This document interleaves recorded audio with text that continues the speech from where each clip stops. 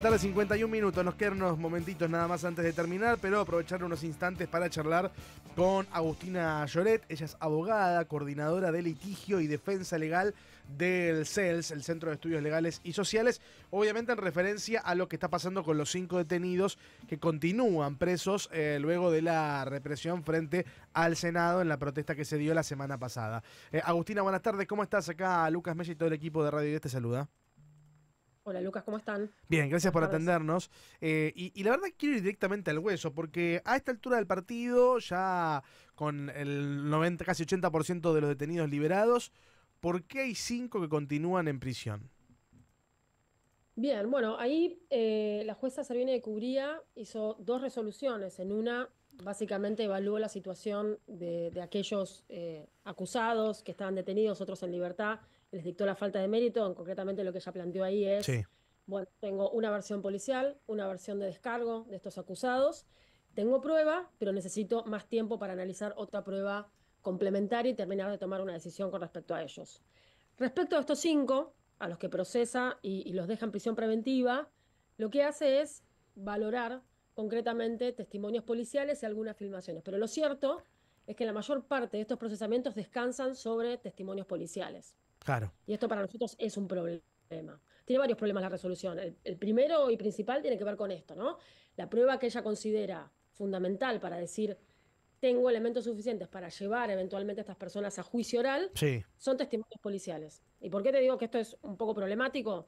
Porque no han faltado causas causas en las que criminalizaban a manifestantes por protestar, sí, sí, claro. en los cuales se haya corroborado testimonios policiales falsos, testimonios policiales que construyen relatos que lo que buscan justamente es convalidar o legalizar esas detenciones que luego se descubren que son arbitrarias. Sí, no debería, ser, no, no debería ser suficiente un relato policial como para poder detener a alguien, básicamente. Exactamente, digamos, en, muchos de estos casos al relato policial se le contrapone el descargo de los acusados. Y ella le da mayor preponderancia, mayor valor a ese relato policial. Pero lo cierto es que un poco la historia, nuestro recorrido en el litigio, en, estos casos, ¿no? nuestro trabajo como abogados en este tipo de, causas, nos ha llevado y nos lleva a la conclusión y, a la posibilidad de considerar que en muchos de esos casos hemos logrado probar que esos testimonios eran falsos y que lo que buscaban justamente era darle un manto de legalidad a detenciones sin motivos. Entonces esto lo vemos como un punto bastante problemático, el más problemático te diría, no el único. Em, ahí, por ejemplo, hay un segundo punto bastante importante para señalar, que es que ella enmarca la conducta de estas cinco personas en un escenario de caos y de batalla campal, sí. sobre el cual ella va todo el tiempo en su resolución, que honestamente no está corroborado en los hechos. O sea, todos vimos las imágenes de esa jornada. De, sí, sí, eso no sucedió. Eso no sucedió. O sea, el, hecho más, la, imagen que nos ha quedado, digamos, como más, más clara es la de la quema del auto de, cadena 3. lo cual, sin embargo, ninguna. claro, eso te iba a decir, ninguno de estos cinco tiene que ver con ese, con ese evento. Ahora, ¿dónde se enmarca, digamos, la idea de eh, la prisión preventiva? Porque yo verdaderamente entiendo que eh, en, este, en esta causa, pensando en cualquier causa en particular, digo, a la hora de la prisión preventiva uno dice, bueno, el juez decide porque esta persona tiene poder, tiene riesgo de entorpecer la causa, tiene manera, de alguna manera, de que la investigación no se lleve a buen puerto, o hay un riesgo de fuga, es decir, una persona que tiene un poder económico importante, que puede salir del país de manera ilegal, digo, entiendo que en el escenario de estas cinco personas, no conozco la particularidad de la vida de cada uno, pero entiendo que ninguna de estas dos son variables posibles, digo, ¿no? Ante esta, ante esta situación. Absolutamente. Acá hay un tema que, es otro de los temas y de los problemas de, esta resolución, que es que la prisión preventiva descansa sobre la amplificación de la criminalización en sí misma. ¿Por qué digo esto? Porque todas estas personas, las cinco, están acusadas de delitos menores, pero que la jueza decide combinar con un delito federal, que es el de intimidación pública, ¿no? Entonces, ese es el delito sí, sí.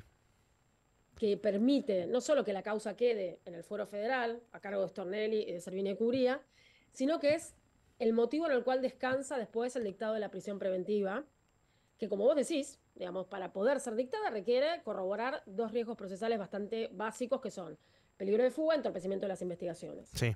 Ella en su resolución, y Stornelli previamente en lo que va del proceso, en ningún momento logra probar con prueba concreta cómo cada una de estas cinco personas, y anteriormente todos los que estuvieron detenidos, ¿no? Es algo que se viene sosteniendo, tienen capacidad o de fugarse o de entorpecer las investigaciones. Claro. Ella basa esta decisión, en este caso, en que hay una pena en expectativa que es elevada, y entonces eso a ella le permite, de alguna manera, imaginarse la posibilidad de que ellos se fuguen o que quieran entorpecer las investigaciones. Pero además, es tan contradictoria la resolución en este punto, que ella asume que la prueba que tiene que producir en la causa, lo que le resta por, por investigar, consiste o, depende directamente de celulares que ya están secuestrados y de filmaciones que ya están secuestradas. Es decir, no hay forma que ninguno de estos cinco acusados ni ninguno de los otros acusados que estuvieron detenidos puedan destruir esa evidencia. Ya está en poder de la justicia todo eso.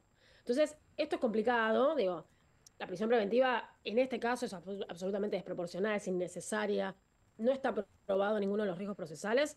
Y te digo algo más, hay un caso muy particular que me parece que es interesante comentar, que es el de Zika, uno de los acusados. En el caso de él, ella fundamenta la, prisión preventiva en el hecho de que no tiene arraigo, que esto significa, para, para, que la gente entienda, que no tiene un domicilio concreto, no tiene, no tiene una casa, y que alguna vez tuvo un paradero de búsqueda abierto, es decir, que en algún momento él se perdió y la familia o alguien hizo la lo denunció, casi sí, lo encuentre. Es una persona en situación de calle, esa es la situación. Entonces, en su caso, incluso la prisión preventiva parece como una especie de plus de castigo por ser pobre y estar en situación de calle. Sí. Es, muy grave la, eh, resolución en, estos aspectos. ¿Vos entendés que los cinco fueron seleccionados dentro del grupo para decir estos son los que se quedan?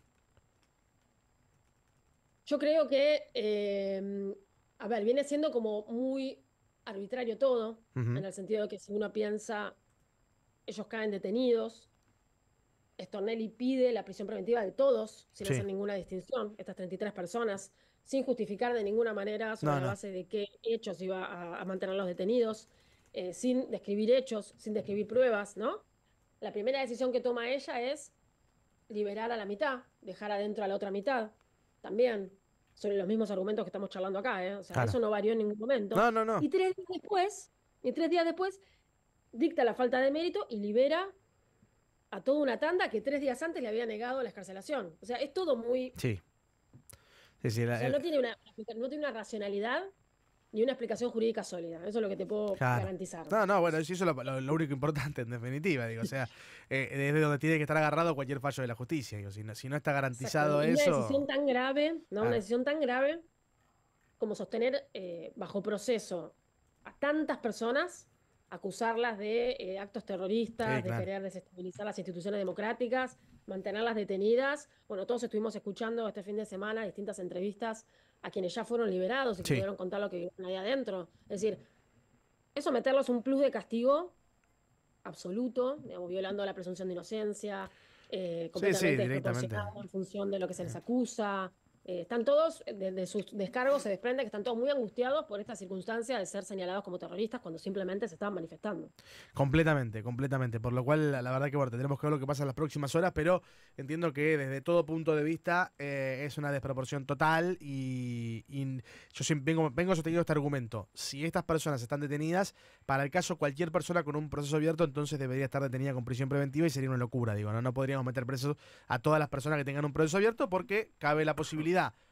Iniciando todo el proceso de que sean inocentes, que es la presunción que tienen. Por lo cual digo, esa es la parte fundamental. Digo, hasta que se demuestre lo contrario, uno es inocente, digo, ¿no? Y, tendrá que la justicia demostrar eso. Agustina, perdón, pero me quedé sin tiempo. Viste que sonó recién la, la, alarma del top, que tenemos que irnos a la noticia, pero seguimos charlando entre los próximos días porque esto, bueno, va a seguir independientemente de si salen o no en las próximas horas, porque vendrá lo que viene después. Digo, no, obviamente que personas que estuvieron y están pasando una situación muy grave encerrados y privados de su libertad, que es el derecho fundamental, ¿no? El de estar en libertad. Algo chiquitito te agrego. Sí, dale. Todo este proceso de criminalización, básicamente, lo único que hace es disciplinar a las personas que estuvieron detenidas y siguen con un proceso abierto, a quienes están detenidos en este momento, a sus círculos íntimos y a la sociedad en general. O sea, lo que va a generar es un miedo a salir a la calle justamente por temor a, sufrir todo esto, ¿no? Totalmente, totalmente. Ah, sin haber hecho nada, eh, o mejor dicho, estando ejerciendo un derecho, termines en prisión. Agustina Lloret, muchísimas gracias.